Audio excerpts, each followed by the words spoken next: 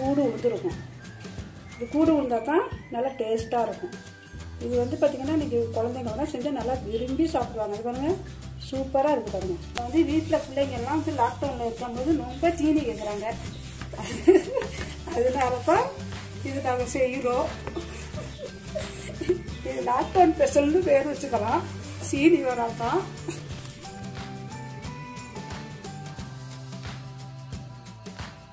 இல்லை. الله الرحمن الرحيم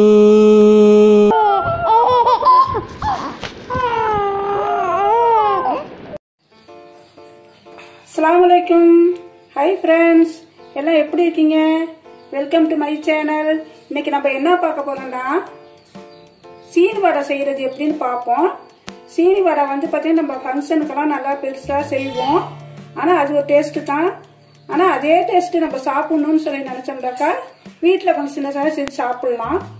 வாங்க அதுக்கு தேவையான பொருட்கள் பார்ப்போம். எனக்கு ஒரு படி மாவு எடுத்திருக்கேன். அதாவது குறை குறைப்பா ஆடையில் கொடுத்து பச்சரிசி ஆயிரத்தி ஐம்பது அரிசியில் அரைச்சி வச்சுருங்க. இது- இது படி இருக்கு பாருங்க. இந்த படியால் ஒன்று எடுத்திருக்கேன். ஒரு படி மாவு. இது வந்து சீனி. சீனி எவ்வளோதுன்னு சொன்னாக்கா இதால் ஒன்றரை கப் எடுத்திருக்கேன். இந்த சுண்டால ஒன்றரை. முட்டை வந்து ஆறு எடுத்திருக்கேன். நாட்டுக்கோழி முட்டை ஊற்றினா நல்லா டேஸ்ட்டாக இருக்கும். நாட்டுக்கோழி முட்டை ஊற்றினா இந்த ஃபுட் கலர் போட வேணாம். நான் நாட்டுக்கோழி முட்டை இல்லாமல் தானே இந்த ஒயிட் ஆக்கிறதுனால இதை கொஞ்சம் போடுவேன். இது வந்து இருபத்தஞ்சு கிராம் பசு நெய் ஒரு எட்டு ஏலக்காய் பொடி பண்ணி வச்சுருக்கேன். தேவையான அளவு ஒரு சிட்டிகை உப்பு. இவ்வளவு போட்டுற மாட்டேன். கொஞ்சமாக தான் போடுவேன். வாங்க ஃபைவ் ஜீஸ் கிச்சனுக்கு போவோம். இதில் வந்து பார்த்தீங்கன்னா ஆறு முட்டை உடச்சி வச்சுருங்க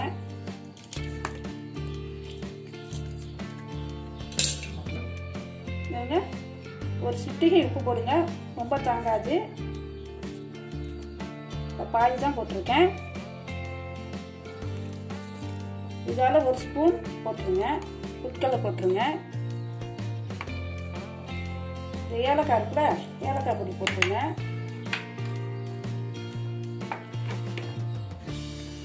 சீனியை போட்டுடுங்க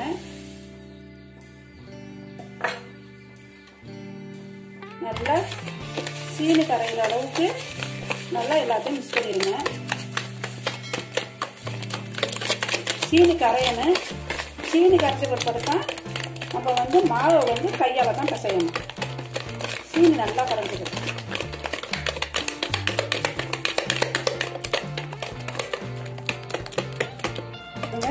நல்லா அடிச்சிடுங்க சீனி எல்லாம் கரைஞ்சிருச்சு. இந்த பசுனை இருக்குல்ல அதில் ஒரு இருபத்தஞ்சி கிராம் ஊற்றிடுங்க ஊற்றி நல்லா கலக்கிடுங்க. நல்லா மிக்ஸ் பண்ணி விட்டுருங்க. இதை வந்து நம்ம கையால் தான் பிசையணும். இதால் பிசைய முடியாது. இந்த மாவு எல்லாத்தையும் ஒரு படி மாவு போட்டுருங்க.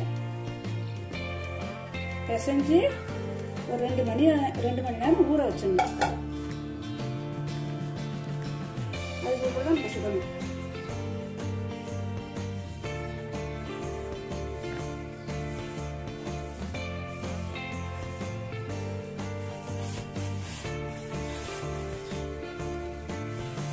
சில பேர் வந்து மைதா மாவு போடுவாங்க. மைதா மாவு எப்படின்னாக்கா நம்ம தட்டும் போது வெடிச்சுச்சுன்னா மட்டும்தான் போடணும். சமயத்தில் வந்து முட்டை நல்லா பெருசாக இருந்துச்சுனாக்கா கொஞ்சம் வெடிக்கும். நம்ம வந்து பிசைஞ்சு தட்டி பார்க்கும் போது நம்ம வெடிச்சு வெடிச்சுட்டு இப்போ லைட்டாக கொஞ்சம் மைதா மாவு போடும் ஆனால் நம்ம மைதா மாவு வெடிச்சதில்லை போடும் போது இன்ஷால்லா பார்ப்போம். எப்படின்னு பனியாக எப்படி வருதுன்னு பார்ப்போம். பார்த்துக்கிட்டு இப்போ கொஞ்சம் வெடிச்சிச்சுனாக்கா கொஞ்சம் லைட்டாக மைதா மாவு போட்டு வந்துடணும் இது நல்லா சாப்பிட்றது நல்லா டேஸ்ட்டாக இருக்கும். குழந்தைங்கள்லாம் விரும்பி சாப்பிடுவாங்க. இன்ஷால்லாம் செஞ்சு நீங்கள் செஞ்சு பார்த்துட்டு எனக்கு கமெண்டில் சொல்லுங்கள் பிள்ளைங்கெல்லாம் வந்து லாக்டவுனில் இருக்கும்போது ரொம்ப தீனி கேட்குறாங்க அதனால தான் இது நாங்கள் செய்கிறோம் இது லாக்டவுன் ஸ்பெஷல்னு பேர் வச்சுக்கலாம். சீனி வராதான்.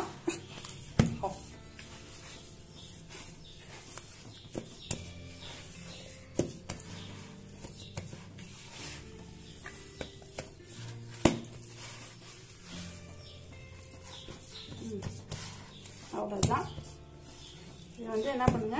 ஒரு ரெண்டு மணி நேரம் ஊற வச்சிருங்க. Two hours later.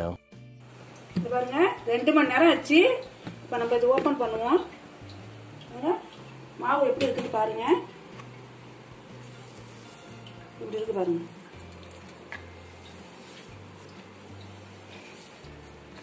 இதை வந்து என்ன பண்ணணும்? நல்லா சேர்த்து பிணைஞ்சுக்கணும். நல்லா கலந்து பிசைஞ்சுங்க. திருப்பி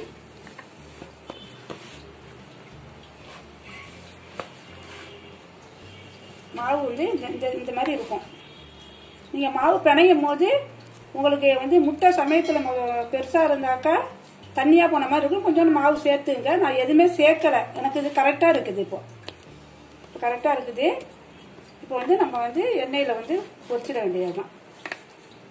வாங்க அடுப்பத்தை வைப்போம் சட்டி காஞ்சிருச்சு. எண்ணெயை ஊற்றிடுங்க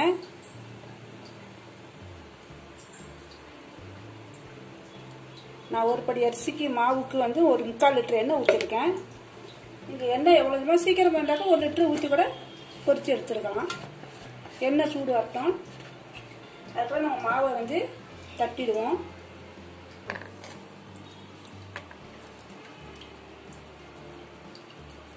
இப்படி உருட்டிங்க இப்படி உருட்டிக்கிட்டு நம்ம ஒரு கேரி பை. இந்த மாதிரி பிளேட்டில் ஒரு கேரி பையை போட்டுங்க.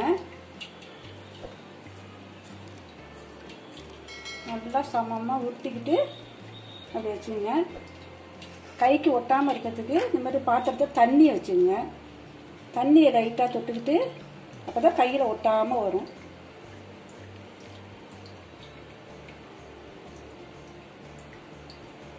ஒரு வேண்டியது போட்டுற வேண்டியதுதான் சூடு வந்துருச்சான்னு பார்ப்போம்.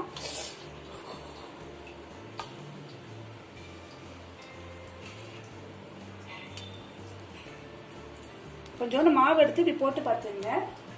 என்ன சூடுறதாக கரெக்டாக இருக்கும். இது சூடு வந்துருச்சு இப்போ. பொரியுது பாருங்க. சரிங்களா? இப்போ சூடு வந்துருச்சு. இந்த ஸ்டேஜில் நம்ம இதை தட்டி வச்சுருக்கோம்னா சீனி வடை அதை தூக்கி போட்டுற வேண்டியதுதான்.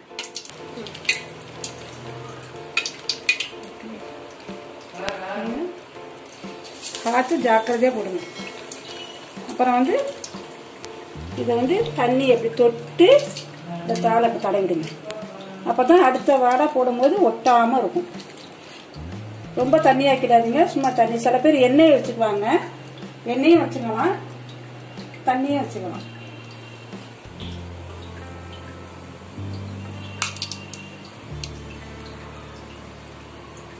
மேலே வந்துருச்சு பார்த்தீங்களா? இதுமாரி சூடு நல்லா மீடியமாக வந்தாக்கா மேலே வந்துடும் அடுத்தது என்ன ஒன்று தட்டி போடுவோம். நான் உங்களுக்கு எப்படின்னு செஞ்சு காட்டுறேன். அதே போல செய்யுங்க.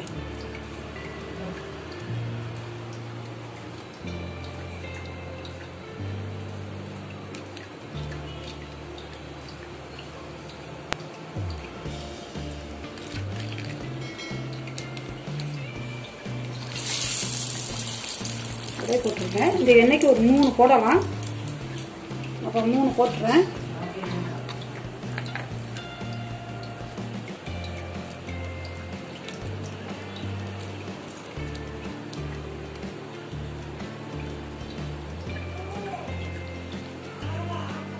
எத்தனை பெருசு வேண்டாலும் நீங்கள் வச்சுக்கலாம். இன்னும் சின்னதாக வேணாலும் வச்சுக்கலாம். இன்னும் பெருசாக வேணாலும் வச்சுக்கலாம். எண்ணெய் நிறைய போட்டாக்கா நல்லா பெருசாக வச்சு அது தட்டில் போடணும். நீங்கள் எண்ணெயில் போடும் போது மட்டும்தான் கொஞ்சம் ஜாக்கிரதையாக போடணும். வேகமாக போட்டிங்கன்னாக்கா மேலே தெரிச்சிடும் இப்போ செவந்து வந்துருக்கு பார்த்தீங்களா செவந்து வந்துருக்கு பாருங்க. இதை அப்படியே திருப்பி விட்டுருங்க ரொம்ப ஹை அளவில் வைக்காதீங்க. இப்போ கொஞ்சம் அடுப்பை கொஞ்சம் சிம்மில் வச்சுருங்க. ஏன்னா முத முத போடும்போது மட்டும்தான் வேகத்தில் இருக்கணும் அப்புறம் கொஞ்சம் சிம்மில் வச்சு வேக விட்டுற மாவு வேகும். இதை வந்து இந்த மாவு வந்து இந்த வாடை வந்து கீழே அமைங்கிருக்கு பார்த்தீங்களா இது வெந்துருச்சுன்னு டக்குன்னு மேலே வந்துடும் அப்போ தான் நம்ம திருப்பி போடணும். இப்போ திருப்பி போட்டிங்கன்னா மாவு உடஞ்சிரும். அடுத்த வாடை வந்து பார்த்தீங்கன்னாக்கா அடி இப்போ மேலே மே- பாருங்க இது வந்துருச்சு பாருங்க. இப்போ இந்த ஸ்டேஜில் தான் நம்ம மெதுவாக லைட்டாக திருப்பி இப்படி போடணும். சூப்பராக இருக்கும்.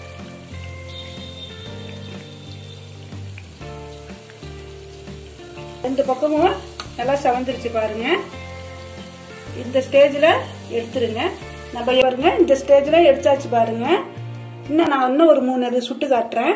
அதுக்கெல்லாம் அதுல ஒரு பயானும் சொல்றேன். அதாவது ரசுல்லா காலத்துல சஹாபாக்கள்லாம் இருந்திருக்காங்க. அவங்க என்ன பண்ணிருக்காங்க? ஒரு வயலை வயலை நிலமா வித்து இருந்திருக்காங்க அதுல ஒரு நபர் வந்து வாங்கிட்டாரு. வாங்கினவர் என்ன பண்ணிருக்காரு? சரி பண்ணிருக்காரு. சரி பண்ணும் போது அதுல ஒரு புதையல் இருந்திருக்கு. இந்த புதையலை எடுத்துட்டு போய் என்ன பண்ணிருக்காரு இது வந்து அவர் வந்து வாங்கினோம்ல அவருக்கு சொந்தம் தான் அப்படின்னு சொல்லிட்டு அவர்கிட்ட கொண்டு போய் கொடுத்துருக்காங்க. அவர் என்ன பண்ணிருக்காரு? திருப்பி நான் வாங்க மறுத்துட்டாரு. நான் வித்துட்டேன். இது வந்து எனக்கு சொந்தம் கிடையாது. நான் சொந்தம் அப்படிங்கும்போது எனக்கு தேவையில்லை அப்படின்ட்டு இருக்காரு அவர் என்ன சொன்னாரு இல்ல ஒன்னட்ட இடம் நிலம் வாங்கினேன். அந்த இடத்துல தான் இருந்தது. அதனால உனக்கு தான் அது சொந்தம். நீங்களே வச்சுங்க அப்படின்னு ரெண்டு பேரும் வாக்குவாதம் பண்றாங்க. இப்ப உள்ள காலகட்டமா இருந்தா அப்படி இல்ல. அப்படி நினைக்க மாட்டாங்க. சொல்ல கூட மாட்டாங்க. ஒரு புதையில இருந்துச்சுன்னு கூட சொல்ல கூட மாட்டாங்க. ஆனா அப்ப உள்ளவங்க அந்த மாதிரி இருந்திருக்காங்க. அப்புறம் மறுபடியும் பாத்தீங்கன்னா அவங்க என்ன பண்ணிருக்காங்க? ரெண்டு பேரும் வாங்காம இருக்கிறதுனால ஊர்ல அவங்க ஊர்ல வந்து தலைவரா இருந்தவங்கள்ட்ட கம்ப்ளைண்ட் பண்ணியிருக்காங்க கம்ப்ளைண்ட் பண்ணவும் அவங்க சொல்லியிருக்காங்க இங்கே கொண்டாங்க அதை அப்படின்னு சொல்லி எடுத்து எப்படி கொடுக்கணும்னு சொல்லிட்டு அந்த வித்தாரு பார்த்தீங்களா? இப்போ வித்தாரில் வித்தவருக்கு பொண்ணு இருந்திருக்கு.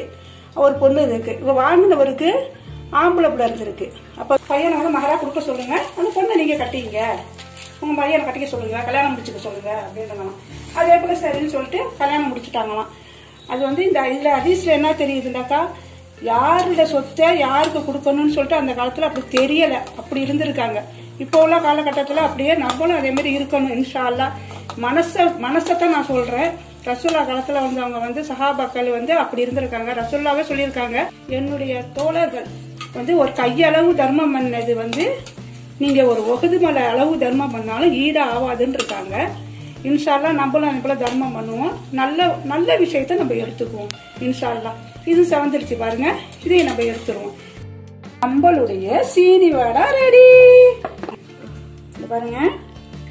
இது ஓப்பன் பண்ணி பார்க்கும்போது உள்ற அப்படியே கூடு உழுந்துருக்கும் இது கூடு உழுந்தா தான் நல்லா டேஸ்ட்டாக இருக்கும்.